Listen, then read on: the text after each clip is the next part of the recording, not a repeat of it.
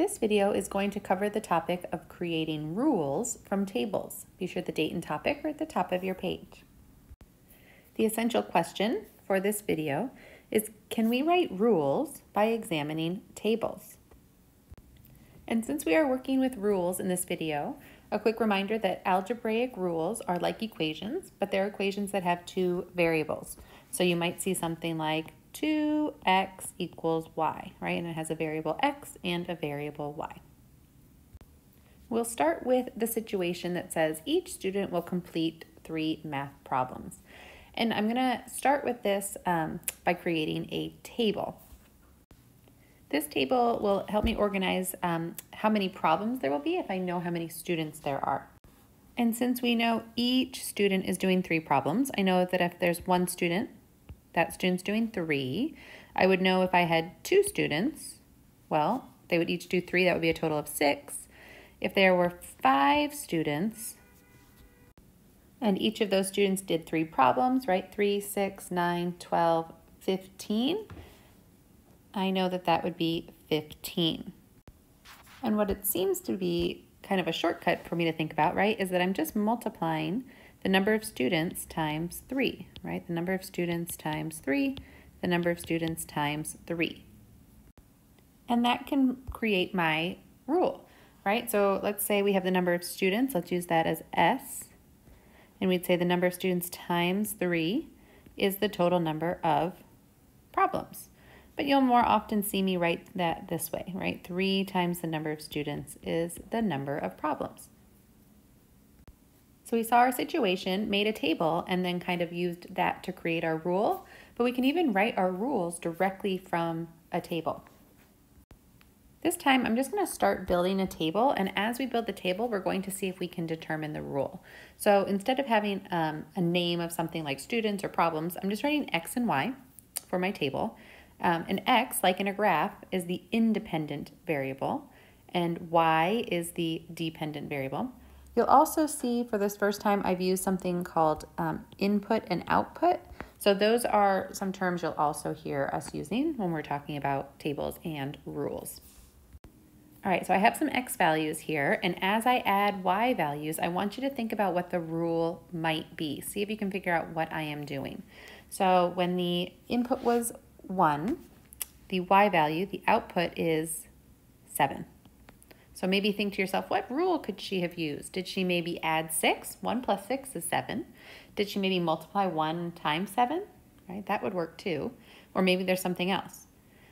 Let's see, it has to work for all of them. So if I put the next output, let's see, if the input is 2 and the output is 8, again, stop and think to yourself, what might the rule be? Right? When I'm doing rules, I always like to make sure I have at least three pieces of information to look for a pattern. So I'm going to give you one more. If x is 5, y is 11. So now think about what could work. Whatever that is, is the rule. So make a prediction of what rule I am using, and then we'll test it out here. So I'm going to put another number here, let's say 10. And I want you to think for a moment about what number you think belongs right here. And if you correctly predict it, then you probably have the correct rule. Did you think 16? Nice. What if my input here is 95? Test it out for a moment and think about what you think goes there. Make a prediction. And now ask yourself, did you pick 101? If so, I have a feeling that you know what this rule is.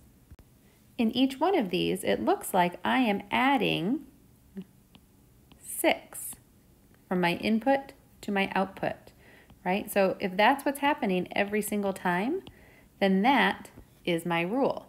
So I can write that rule by saying my x value plus 6 is what gives me my y value. This is a rule that I wrote based on that table. All right, let's set up another table and see if we can figure out what rule I'm going to use this time.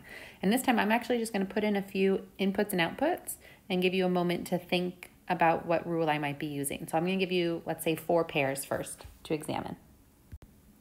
So take a moment to look at my table. I have some inputs and outputs, some X's and Y's. And I want you to think about what I might be doing to get my y value when I know my x value. And so um, take a look at these four pairs, but then I'm going to kind of see if yours works by adding more information. So make your prediction. All right, so if I say 30, what do you think would belong right here based on your prediction and your pattern?